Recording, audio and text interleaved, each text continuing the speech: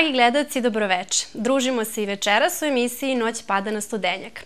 Zadovoljstvo mi je da ugostim dva brata, od kojih je jedan reditelj, a drugi je glumac. Moji večerašnji gosti, Bojan i Đorđe Kreć. Dobroveče i dobrodošli. Dobroveče. Hajmo za početak da započnemo priču tako što ćemo da objasnimo našim dragim gledalcima šta je Boki Motion Pictures Company. Hoćeš ti da budeš ljubazan pa, Bojane da objasniš? Uh, Boki Motion Pictures Company je uh, moja imaginarna filmsko-televizijska produkcija koja se bavi proizvodnjom uh, filmova, serija, muzičkih spotova i snimanjem koncerta razno raznih. Tako da to znači još uvijek nešto imaginarno. E sad, kako vreme prolazi, to sve dobija na svoje ozbiljnosti, tako da se nadam da će u buduće to biti prava filmska kompanija, možda čak jednog dana i vodeća u Srbiji. E, ti studiraš filozofski fakultet, ako se ne varam, a ovako Tako privatno je. se baviš e, rediteljstvom.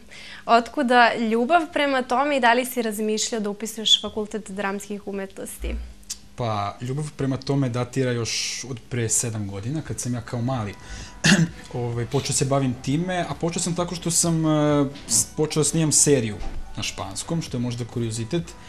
Ovaj, I to je sve krenulo kao neka vrsta igre moj brat uh, Đorđe i ja smo uh, okupili društvo naše, braće, sestre, sve koji su u tom momentu bili zainteresovani za tako nešto.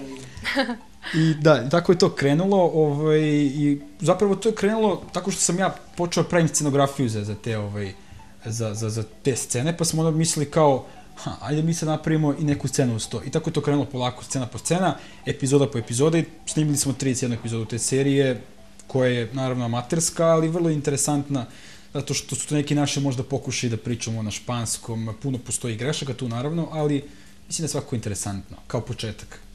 A fakultet dramskih umetnosti, mm, to si koliko ja znam pokušavao, ali za sada si zadovoljen i filozofski.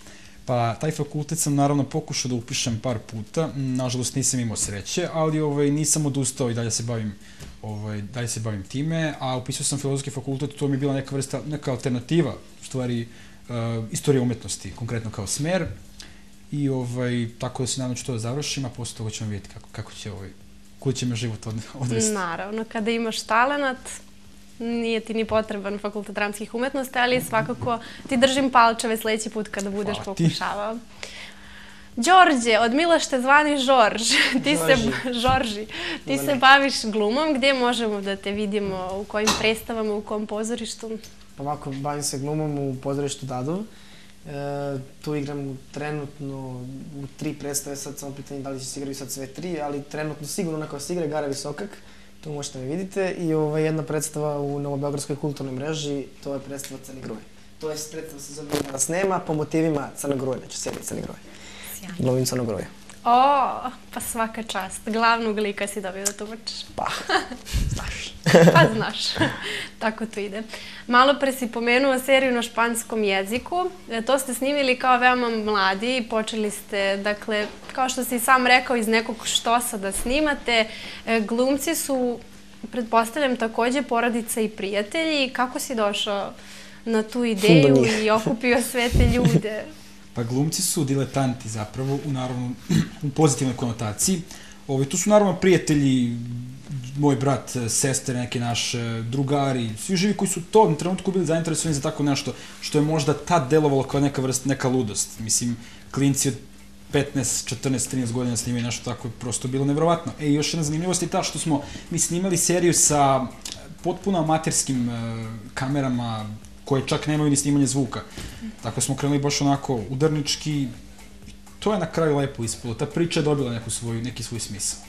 Đorđe, da li si ti znao španski jezik kada si počeo da glumiš u toj seriji i ostali glumci, da li ste znali španski jezik ili ste improvizovali i učili na samom snimanju? Eto, pazi ovako, ja, ja sam ovaj, igrom slučaja znao neku reč, neku rečenicu, onako neku frazu iz španskog. E, gledao sam serije, znaš, ono, to je bilo to neko ludilo na Pinku koje je krenulo kao serije, jedna za drugom. Pa sad tu su bile neke onako glupe serije zaista, ali bilo je i vrednih serija po kojima su, na koje smo se mi kasnije ugledali.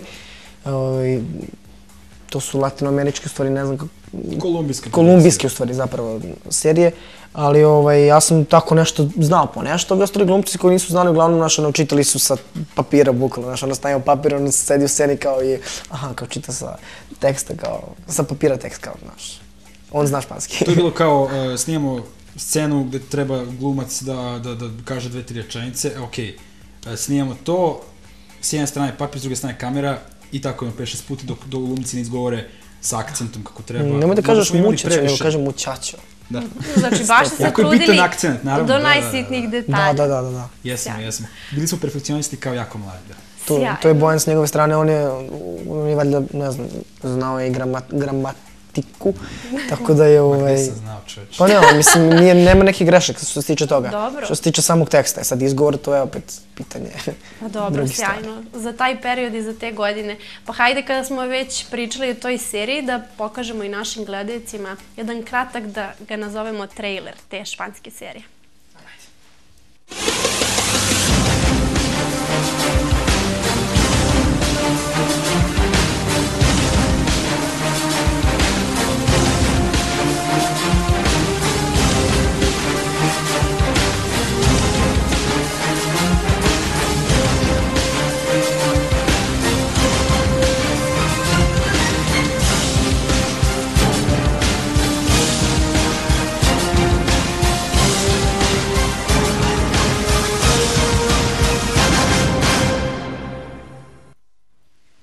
Wow, kako dobra serija. Jel ovo naši gledalci mogu da pogledaju negdje na internetu sve epizode. Da, naravno, gledalci mogu da pogledaju uh, prvih 20 epizoda, a mi izbacujemo tako svake nedelje, iz nedelju u nedelju po jednu. Uh, a ih, ukupno ih ima 31, tako da ovaj, mi to imamo sve na, i na YouTube-u i na Vimeo, a zanimljivo je što ćemo na kraju izbaciti i making of serije, koji uh, dokumentuje kako smo mi tad radili. Baš na licu mesta će moći gledalci da vide kako smo snimali, kako smo se mučili sa španskim, kako smo se borili, kako smo grešili, a i kako smo ovaj, imali neke interesante momente, povređivali.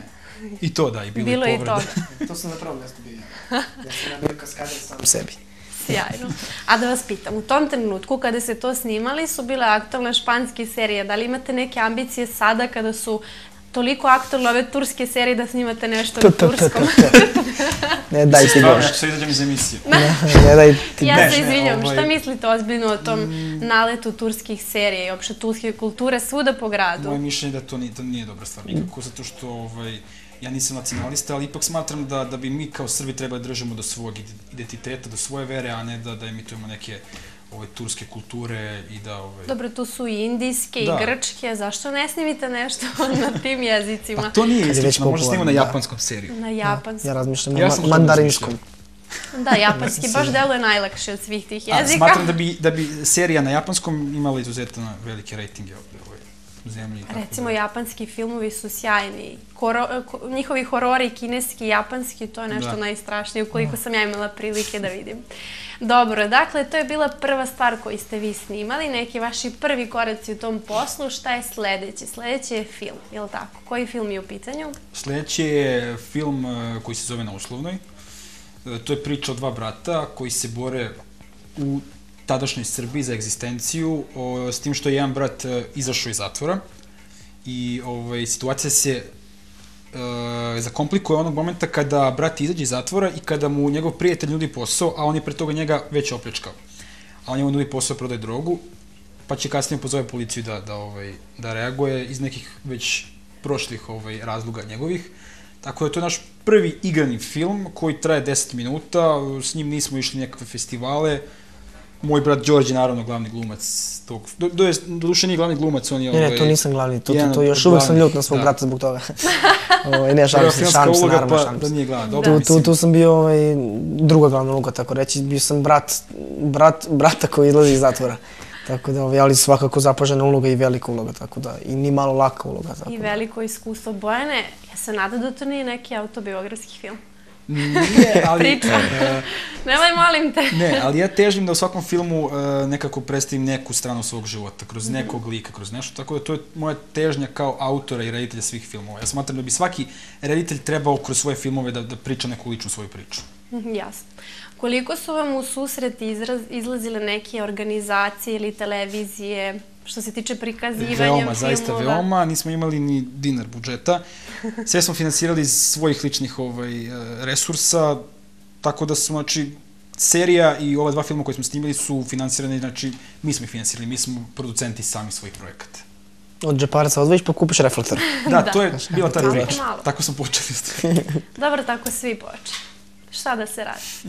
E, sada da pričam još nekim tvojim interesovanjima, pre nego što našim gledalcima predstavimo i tvoj drugi film, a to je pravljenje makete.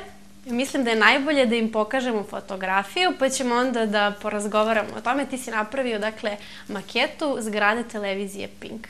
Hoćemo li da vidimo kako to izgleda? Ako je režija spremna. Zašto ne bi? Dakle, ovdje se vidi i unutrašnjost. Ti si išao do najsitnijih detalja, je li tako?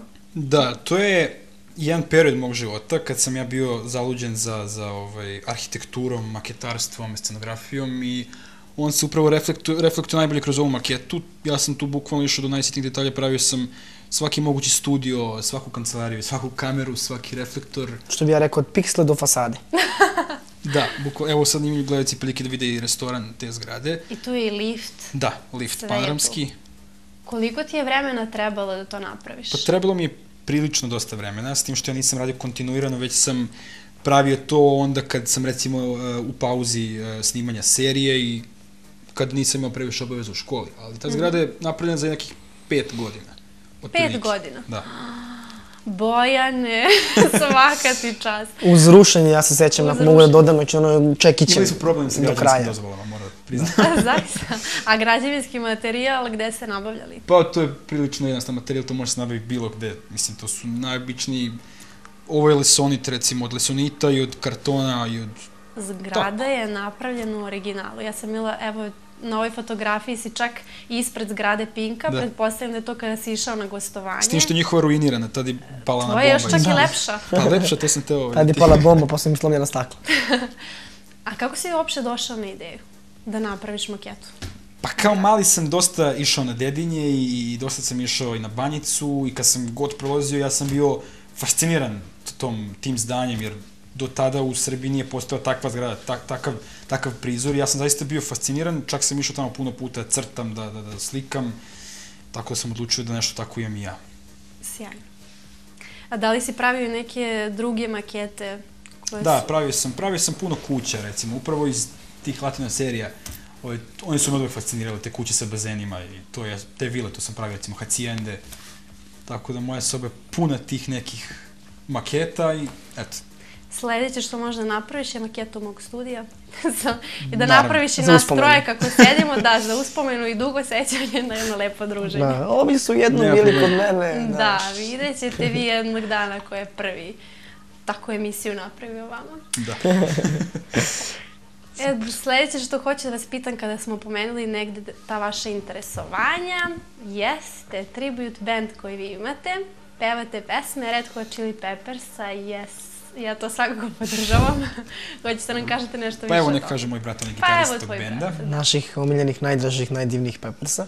Ovaj, do duše sad ne u tom onom nekom stalnom sastavu, bez tog mog jelte gitariste Johna Frusciante koji je nažalost otišao, ali to je posljedna priča. Ali ovaj, svakako ja sviram kao John Frusciante, Bojan peva kao Anthony, imamo druga koji svira bukvalno identično kao ovaj, Flea. Tako da, ovaj, i bub, bub, bubnjar naravno koji svira kao Chet, tako da smo negde se našli, znaš, ono, sva četiri ludaka za... Još se uvijek uvežbavamo, ali point je da mi slušamo prilike od ono, najranijeg našeg perioda. Ja sam, to su jedni od prvih bendova koji sam ja ikad slušao. Tako da smo ih uvijek nekako imitirali i priželjkivali da budemo kao oni. Skoro smo bili na koncertu njihovom koji nas je duševio i Da, njihova energija je stvarno fascinantna. Znači, oni kakvu energiju sada uprkos imaju, godinama u kojima se nalaze. sada kakvu energiju imaju onda šta su sve tokom svog života radili, to je stvarno ono, fascinantno. Jeste, ili stavljate te snimke na YouTube da Pa mogu da, da pogledaju Trudimo gledalci? se da, da, da okačemo kad imamo nešto s probe, recimo s nekih naših nastupa. Za sad probe, ali bit će, bit će još Ali nastup. bit će toga još. Biće tek nastup.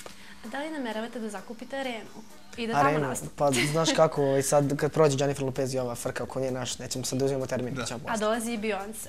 Da, va, u stvari ne znam za nju. Da, dolazi E, Beyoncé. To sam Nisam čula, to- da. nisam- Vidiš, ja novinari imaju te informacije iz prve ruke. Ali ja se nadam da ćeš ti nju da ugostiš ovdje u emisiji. E, hoću, nešto smo se dogovarale, ma da razmislit ću. Ja ne mislim da Još daš moju stolicu, baš nešto ne volim. Ne, donet ćemo Šalim neku se, manju, opet. možda neki mali prilog, ne znam sad, ali ću u emisiju, nije mi nešto ispratila. zaslugama. Ako Sve nađeš neki prilog, jel te, Ako ne, nešto nađem što je radilo. vremena, doći će i ona u moju emisiju. E, dobro, pomenuli smo dakle te neke vaše stvari koje volite da radite pored nekih prevashodnih vaših opredeljenja kojima se bavite. A hajde opet da se vratimo na to e, čime želite se baviti. Kakve filmove ti onako najviše lično voliš? Šta ti je najbliže srcu? Koji žanrovi? Pa, volim razno razne žanrove, ali pre svega najviše me fasciniraju e, drame koje nekako opisuju stvari koje se dešavaju normalnim ljudima, običnim ljudima. I to me zaista interesuje i želim se bavim problemima koje, sa kojima se svaki čovjek može susresti. Bilo da su ljubavne, bilo da su egzistencijalni ili bilo kakvi drugi. Tako da se trudim takve filmove, svakako volim i komedije, akcije, imamo čak u planu da radimo neku akcijnu seriju, ako Bog da uskoro, ako skupimo ovaj, novce i takvu ekipu ovaj, sastavimo. Ako budete imali vremena. Ovaj vremena. Neće biti moguće Džaparc skupiti toliki novac. Da, šalim se normalno. Ovaj, tako da tražim još uvijek sebe kroz razne razne žanrove. Znači nisam se fiksirao baš za jedan žanr, već se tražim još uvijek. I svaki moj film je nekako neka vrsta uh, mog životnog, a i umetičkog napretka. Sjajno.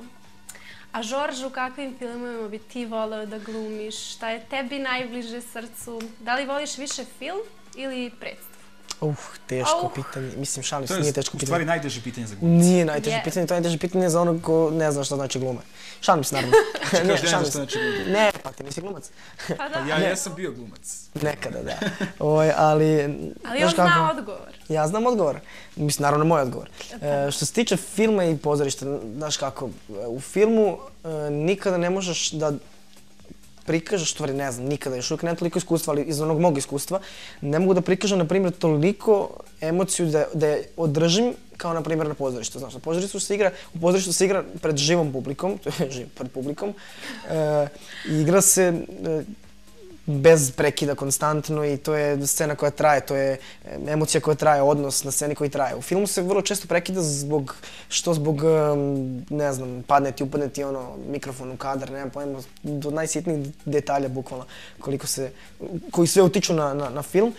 Tako da se tu nekad može zgubiti ta emocija, ali ja kaže se, u stvari, kaže se da tri puta, znači ta tri prva kadra, kako se to kaže, tri, tri prva snimka, take-a, Da. Dobro, da se tu, da se tu, da se tu računa kao da glumac može najbolje se prikaže ta prva tri puta kad mm -hmm. glumi, a što kasnije sve već teže mnogo. A što se tiče nekih ovaj, filmova kojima bi, kojima bi ja volio da glumim, pa mene pre svega interesuje također nešto obično, neke dramske situacije, psihološke teme, naravno, u samom, znači borbe, borbe čoveka sam, sa samim sobom. Pre svega to i naravno komedija, mislim, to je ono, što se vrtimo oko drame, trilera i komedije. Aha. Tako da... S može sve to, ima mesta za sve da, da radiš. Da, kad kažem i akcija, onda da. neka stvar. Svestaran glumac. Da. Ja znaš što uvek ono vole piti glumice? Pa evo ja ću tebe da pitam, da li umeš da plačeš na silu? Jao, znaš kako. Jao. Sad ću ti pokažem. Sad ću ti pokažem.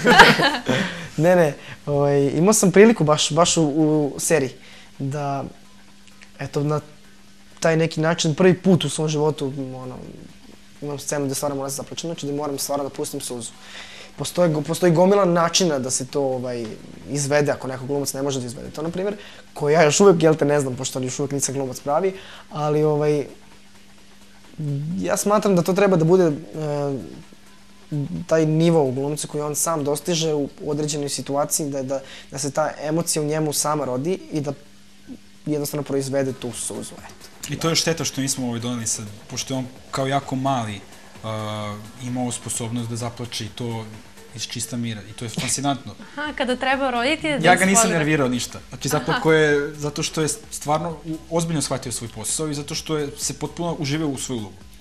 A s obzirom da je bio jako mlad, to je zaista za svaku pohvalu. A koliko je za tebe recimo zahtevno kada ti eto osmisliš neki scenario i zamisliš u svojoj glavi kako to treba da izgleda recimo neka scena, koliko je teško da preneseš tu svoju zamisao na glumca?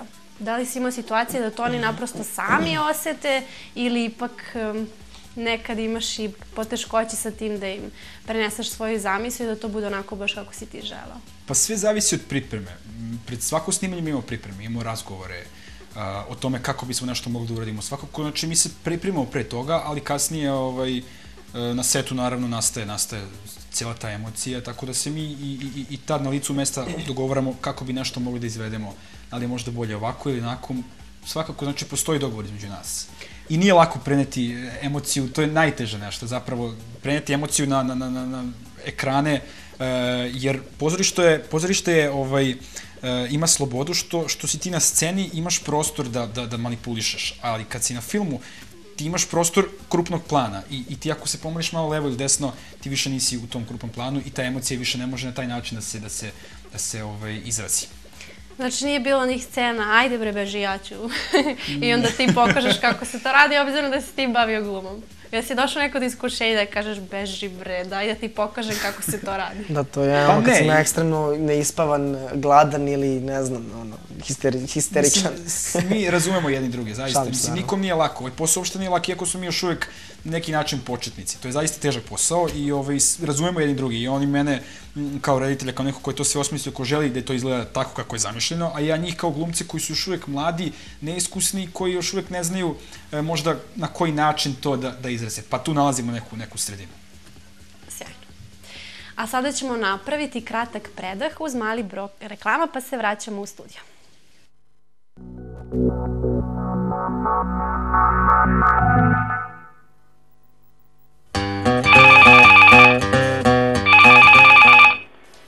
Stefi. Ćao, Maro. Ej, u frci sam. Imam neko druženje večeras. Hitno mi treba neki dobar frizerski salon.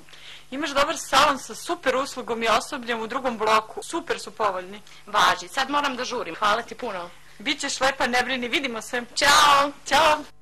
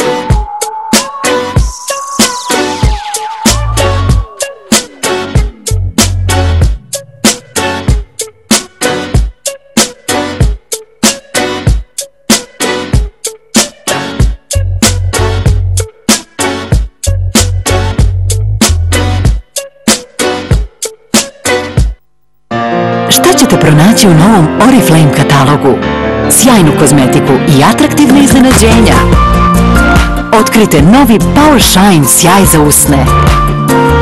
Oriflame-ov najsjajniji ruž sada je dostupan i u vidu sjaja sa preciznim aplikatorom. Fantastičan sjaj. Oriflame katalog. Sve za lepotu i više od toga. Potražite kod vašeg Oriflame konsultanta.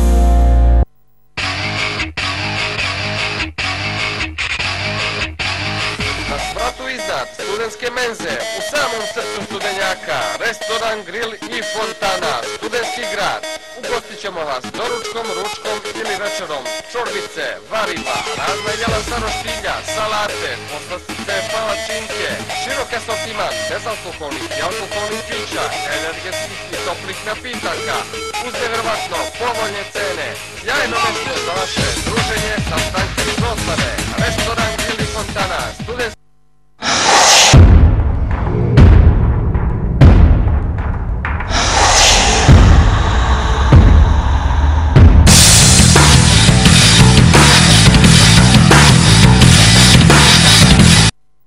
ukusi starih majstora. Kafe poslastičarnica Speransa u Studenskoj ulici iza prvog bloka. U renoviranom ambijentu provedite prijatne trenutke, osvežite se i zasladite vaš uspešan dan. Kafe poslastičarnica Speransa.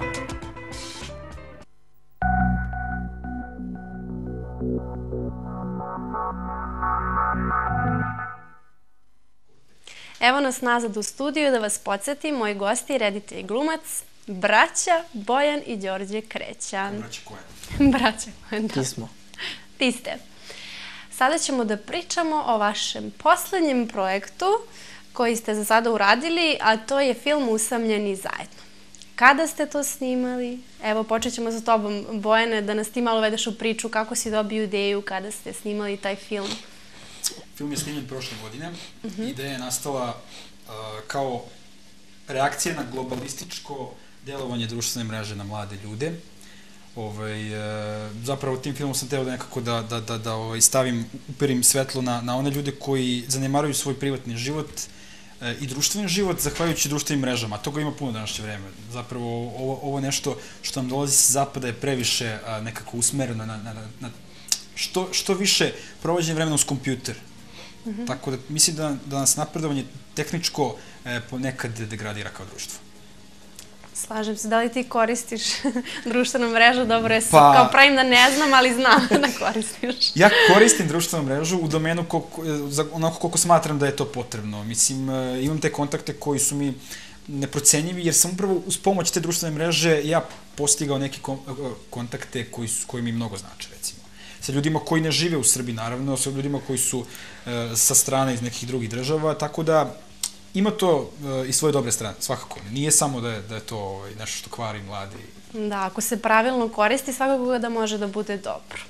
Žorž, kakva oui. su tvoje iskustva sa snimanjem filma Usamljeni zajedno? Koju ulogu tumačiš u ovom filmu? E, u ovom filmu ono sam nekako izmolio tu neku glavnu ulogu. Preko veze? Preko veze, znaš. Šalim se, naravno, ovaj, to, to, to je uh, E, do sada moja, to je prva uloga gde sam ja mogao da, da steknem neko zaista pravo glumačko iskustvo naravno, i ranije, ranije sam sticao iskustva, ali ovo je zaista ne, jed, jedan ono, moment gde sam stekao pravo, pravo iskustvo. Gde sam ja napravio lik, gde sam prvi put u životu iz sebe kreirao jednog lika, koji je moja potpuna suprotnost. Znači, e, miran, povučen, ćutljiv, e, duga kosa, brkovi, e, naočare, znači glumio sam štrebera. Dečko koji zapravo, koji je, koji je žrtva cele te priče, kako bi ja to nazvao mašinerije, naravno, ali mislim, jednostavno on je, on je neko ko je još kao jako mali odrastao u tom nekom digitalnom svetu. -hmm. Znači, to je već, to je sad, e, to je ono što, što ja volim. To je psihološka tema jednog lika. Znači, on je odrastao u tom svetu, sad iz kojih razloga, nema ih puno, ali jednostavno nije izlazio napolje, nije se družio s decom kao što bi trebalo svi normalni da radi, svi u tom periodu detinstva da izlaze napolje, da se druže, da igraju futbol, da se igraju u pesku, ne znam, da igraju domine, ono što, sve, što deca treba da rade zaista. Se druže sa devojčicama. To sa devojčicama se druže, naravno, bože, mislim, ono, pre svega. Ali, ovaj, jednostavno, on nije ništa toga imao i zato je mora preko Facebooka da stiče neke kontakte, neka upoznavanja i ovaj, internet sam po sebi mač dve oštrice za jedno dete, tako reći, koje ne zna ništa o svetu i koje ima tastaturu, miš i ekran i otvoren svet pred sobom priče za sve informacije ovog sveta. Tako da je on žrtva cijele te priče. Kako bi ga ja nazvao, tragičan junak. Tragičan junak. U cijeli priče. Sjajno. A što se tiče, ja samo dodam za, za mm -hmm. Facebook, to je neko moje mišljenje, da je zaista previše uticaja na mlade.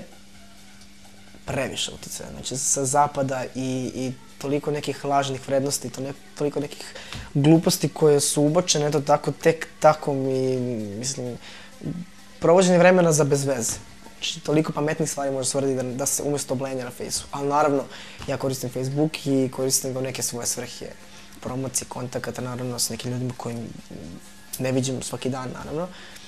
I ovaj, sa ono, znaš, kad treba se čuješ sa 15 ljudi jednom, pa naš kao grupu poruku pošlješ, ono, kao to je super. Na kraju kraju je besplatan i tako da. Da, da, da. Ima ono jako dobrih, dobrih strana samo ako, ako, zna, ako znaš da ga koristiš. A, a nažalost, jako malo njih zna A vi ste ovim filmom upravo htjeli da skrenete pažnju na te negativne strane i da na neki način edukujete oni koji ga gledaju. Da, se da poenta, poenta filma je uh, izađite napolje, družite se, poznajte devojke re, u realnom životu, a ne preko Facebooka. Slažem se, kako lepa poruka. A gde ste sve imali premijeru svog filma? Koji gradovi su imali priliku da vide? Pa premijeru smo imali pre svega u Beogradu i to mm -hmm. dva puta. E, imali smo e, projekciju a, u Parobradu, e, onda smo imali premijeru u Nišu, a volio bih da istaknem da je naš film pozvan da učestvuje na festival kratkometražnog filma u Indiji i tu je ušao u prvih 20, što je velika stvar, jer to je ipak svetski festival. Mm -hmm. Tako da eto, imali smo te neke projekcije. Film je osvojio dve nagrade. Osvojio nagradu ovaj, novin, novinara. E, dobili smo stipendiju za, za, za ovaj, tu sam Austriji stipendiju, za studiranje e, škole videonovinarstva, koju sam skoro završio. Eto, kolegi smo. ja, super. ovaj, Dobrodošao u klub. E, pa hvala ti. I e, pobedili smo na FAMSU, to je festival koji organizuje Akademija umetnosti, gdje smo osvojili prvo mesto kao najbolji film i tu sam također dobio stipendiju za studiranje Akademije umetnosti i to je to što je za, za sad. E sad, mi smo pozvani još jedan festival indijski koji će se uskoro održati, tako da ćemo i tu da ovaj, pokušamo, pa šta bude. To je neka informacija iz prve ruke. Iz prve ruke. Uhu, ekskluzivna informacija, bravo. Kakve su planovi za dalje? Šta nameravaš da radiš, neki novi projekti, neke nove uloge, audicije za glumce?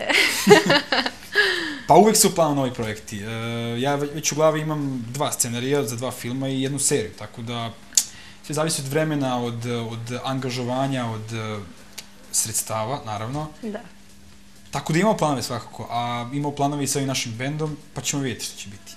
Mogli biste i ovdje u studentskom gradu da nastupate? Razmišljali smo o tome. Razmišljajte to, mislite bilo o tome. to bi bilo super. to bi bilo super. Kako su tvoji planovi za budućnost ili neke želje? Sa kojim glumcem, hollywoodskim ili glumicom bi voleo da se zaglaviš u liftu? Šalim se. Znači sad, predirektno pitanje. da. Ali ima odgovor, Što bi rekao Sergij Ali ti Trifunović, bi rekao- znaš odgovor. Ja, ja znam odgovor. Što bi rekao Sergij Trifunović, jedini glumac kojim bi se poljubio usta, to bi bio bi Johnny Depp, razumiješ? Ono, to, to Ja kaže isto, on. šalim znaš. se. Ali ja to ne kažem, naravno, to je čovjek koga bi on izgrlio kad bi ga sreo na ulici, zaista čovjek koga previše cenim i obožavam, najviše na svetu ga volim. Ove, stranog Sergij Trifunović, domaćeg naravno, domaći glumac Sergij Trifunović, legenda legendi za mene. Ali ovaj, planovi za u budući, neki moji lični planovi, su da, sad sam četvrta godina, sad pokušam prvi put, to je drugi put FDU, Probao sam pre dvije godine kad sam je druga godina i ovaj, jako sam se lepo probio, ako nisam prošao, stekao sam jako veliko iskustvo. Sada se spremam malo zbiljnije i grejem dlanove i vidjet ćemo, trebalo bi da bude nešto lepo. Čim čuje se moj brat, nećete primiti. Nemoj da pominješ ime i prezime. Da, Pominji samo svoje glavne Alias. uloge. Španske serije, super, imaš iza sebe već dosta iskustva, tako da da izvinete ludi su ako te ne prime. Ja se izvinjam što tako moram da kažem, ali zaista i naši gledalci će sada imati priliku da vide taj film, da vide tvoje umeće glumačko. Ja vam se obojici zahvaljujem što ste bili moji gosti. Hvala tebi što nas Hvala pozvala. tebi što nas pozvala u ovako lepom ambijentu, Ovako prelepom ambijentu. cvetnom. Da, nadam se da vam je bilo prijatno i ugodno i vrlo rado ću vas ugostiti ponovo kada budete imali neke nove projekte. A naši, da, a naši gledalci sada imaju priliku da pogledaju ekskluzivno film Usamljeni zajedno. Ostanite uz kanal radio televizije Studentski grad i prijatno večer.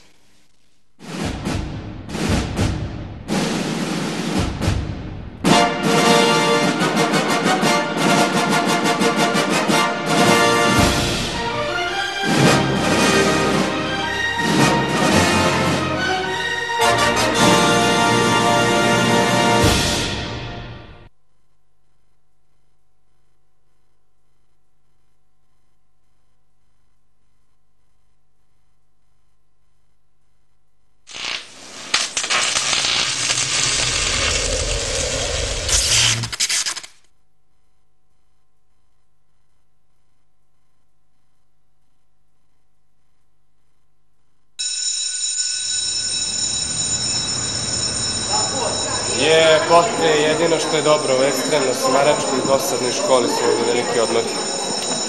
A i ove ribe, kojih mi ponekad prosto. I nije, nije sve tako crno. A šta se žališ, bre? Pa, nismo našu školu mogli da upišemo. I si čuo kad su nam rekli da ćemo imati mnogo više prakse nego teorije. Znači mnogo više vremena za neke druge prakse. Kao na primjer, Batice, morat ću ja tebe da naučim neke stvari kad su ženske pitanje. Vidim ja da se ti baš ne snalaziš u tom svetu, a? kako da ti kažem?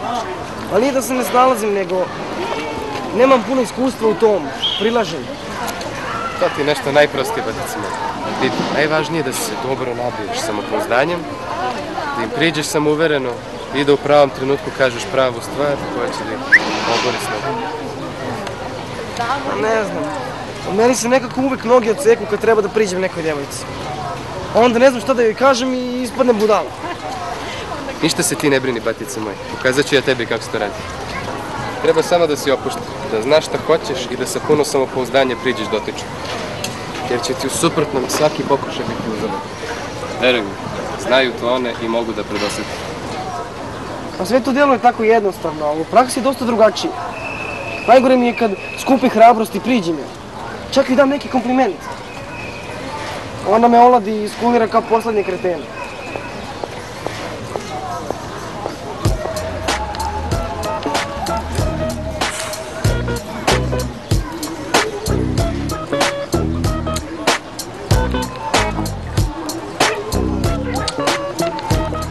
Te, batice, sad ću ti pokažem kako stoji.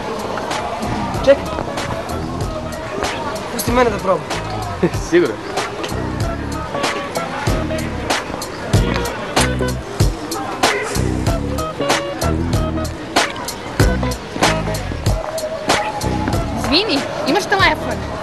Mobilni. Mogu poruku? Da, naravno. Evo izvini. Ekstra.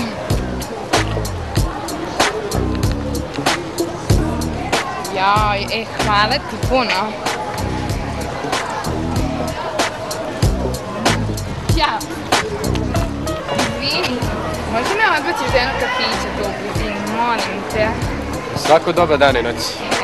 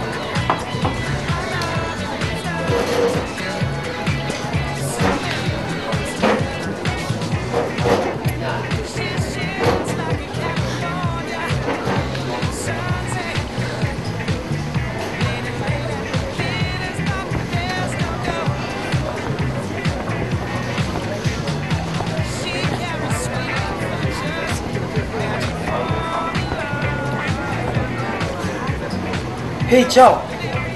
Ćao. Jel sve u redu s telefonom? Mislim, ako treba daću ti ja opet svoj. Ako ne, nemaš bateriju, tako ne. A, hvala, ne treba, ne treba. Izvini, mogu da sedem?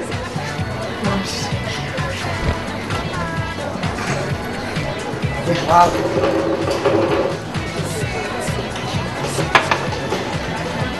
A šta piješ? Ništa, hvala ti naručila. Ti čekaš nekog ili... Da, čekam dečka, već je trebalo da stigne, ali ne znam gde je uopšte.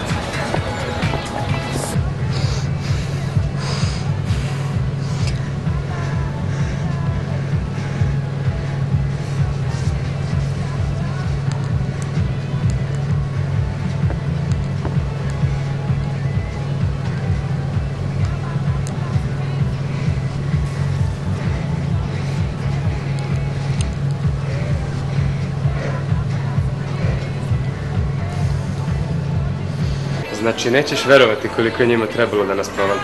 Pritom smo bili pijeni kao veter. Ljudi mogu da se sjetim šta se sve dogodilo. Znači, haos totalan, ljudi nisam mogu da verujem. Zini, sad da...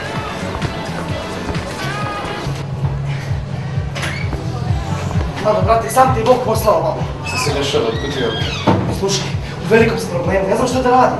Konačno sam prešao u svoju barijeru, oslobodio se i opušteno započeo razgovor sa Natalijom. Onda mi se kao najgore paksu desilo ovo. A baš mi je lepo krenulo. Vidim da te lepo krenulo. Ma pusti sad to, nego reci mi, šta da joj kažem sad? Šta može onako ribu da obori sa nogu? Pa u tvojom slučaju, batice, samo bejsbol palice. Pa nemoj da me zezaš, molim te, nego daj pomozi mi, treba mi savjet. Slušaj strane, moj najiskreniji savjet je daleko da ustaneš od toga. Nije ona tvoj kalibar. Prepusti je meni, a ja imam jednu drugaricu s kojom ću te poznati kasnije. Kako to misliš da odustanem? Pa kako sad da odustanem? Jesi ti normalan? Prvi put je neka devojka obratila pažnju na mene, a ti hoćeš da odustanem i prepusti me tebi, koji možeš da imaš svaku.